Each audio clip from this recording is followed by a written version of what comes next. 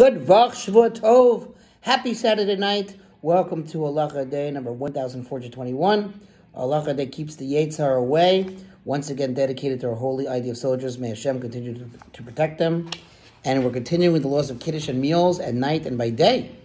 The Kiddush wine, because it is a necessary component of the meal, does not require one to recite a bracha acharona, a final blessing after drinking it. Usually you drink the revius of wine, which is about three ounces. Some people say five ounces, right? You make an after blessing. But in this case, because you're having bread, you do not have to make that after blessing over the wine, right?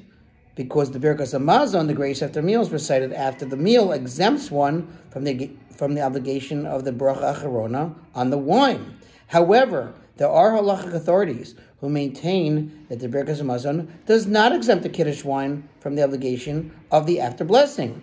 Therefore, if possible, one should endeavor, after reciting Birkas Hamazon, to recite a blessing upon a cup of wine, drink a revius of the wine, and recite a bracha acharona for that wine.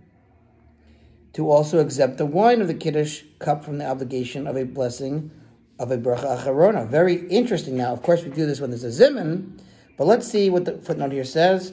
Biur Halacha, in discussing this difference of opinion, advises instead that when reciting the Birkas Hamazon, one should have in mind to thereby exempt the obligation of a bracha acharona, an after blessing, for the wine of the Kiddush as well, as such intent certainly exempts the wine after the fact. So, in other words, if possible, you should say, you know what, when I bench, I'll also have in mind that this benching um, includes the wine that I drank.